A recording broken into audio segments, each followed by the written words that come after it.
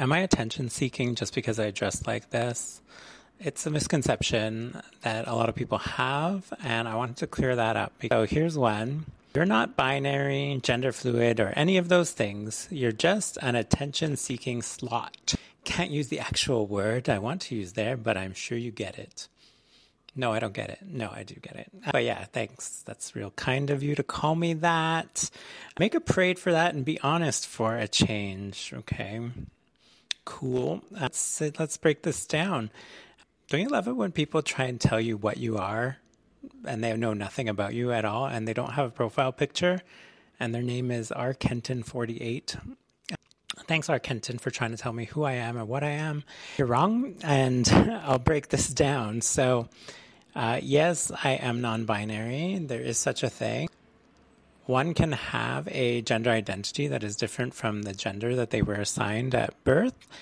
you don't have to identify with the gender that you were assigned at birth. You're free to do whatever you want and uh, live on this on the whole gender spectrum any way you want to. Uh, everybody has that freedom to do that.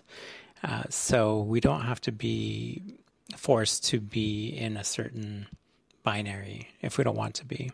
You're just an attention seeking slot. This is also something that a lot of people get wrong.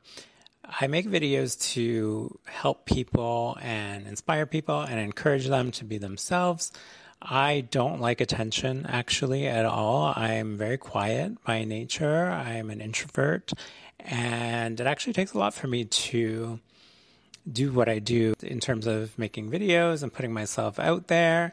It's something that I think is important to do and it's something that I want to provide to others because I didn't have it growing up and it was very confusing for me growing up not having any role models or being able to see others talk about the topics that I talk about gender, dressing up in makeup, dresses, all these things. It's just something that nobody ever talked about when I was growing up. So it's something that I want to do to help others, inspire others. And when I see people comment that my videos are helping them. It's very inspirational for me.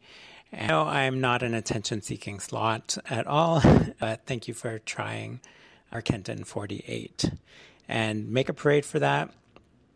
Yeah, sure, of course. Yeah, we love our parades. So we're going to continue to make parades about being proud of who we are.